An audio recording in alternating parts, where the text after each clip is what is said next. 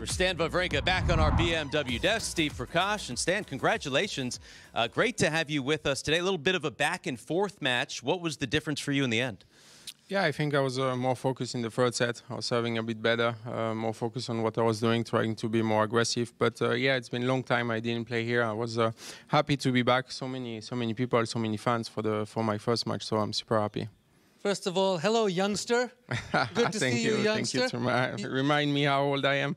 but uh, Uh, uh, Stan, you, you recently made a very, very beautiful post. You know, you just entered the top 100 again, which was beautiful to see. We all love when you're playing well.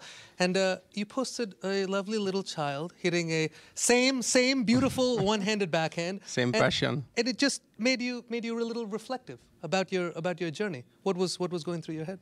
Yeah, I think, uh, of course, I achieved so much in my career, uh, way more than I could dream. But uh, you know, I'm, I'm, as I said, I'm, I'm getting close to the end of the of my career. But I still enjoy. I'm still passionate about that. I love the process. I love the hard work, the practice. And uh, after after such a long break from from two surgery and being out, I, it was tough to be back. And I think sometimes you you should not forget what was your first dream. Doesn't matter what you achieved. It's always going to be special. And of course, uh, to be top 100 in the world is uh, is always a special number for any kid. So I was just happy to be back at at that level. I also know I'm feeling uh, much more better now. I'm feeling good physically and tennis wise. So hopefully I can keep uh, going up. Well, listen, we love seeing you continue to play good tennis, and you, you still have the energy of a young kid, and you seems like you're still having some fun with the with the young kid games. But some of these young kids today, they don't know what the real games are, Stan. so can you explain to some of these young kids what this contraption is that you're playing? Because a lot of kids today don't know. They for sure don't know, but uh, no, I, I do, I do, I do enjoy. There's few tournaments with some good one. I do spend too many hours on it, but uh, uh, yeah. Again, you know, life on life on tour. Sometimes you just have to wait a few hours before match or after match. It's uh, there's a lot of waiting there, so you need to find uh, find some some fun. And I have a great team with me, so I always enjoy to.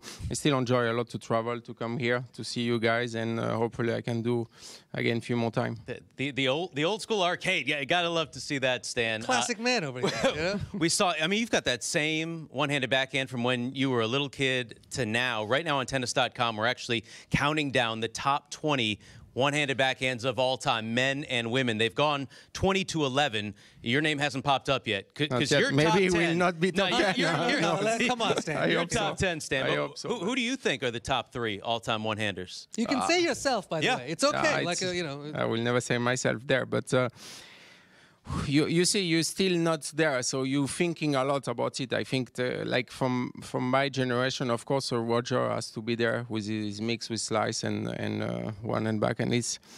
It's tough to find. I think uh, I need to think. I will come back uh, next round to, to tell you my list. Okay, well, That means he's what. winning. Yeah, that, yeah, that- yeah, exactly. If anyone out there wants to throw up their list and include this guy, I think they'd be they'd be doing something smart. Let's talk about that single hander and what it's going to do in the next round. You got to Kecmanovic, who's, who's a very tough out, makes you play a lot of balls.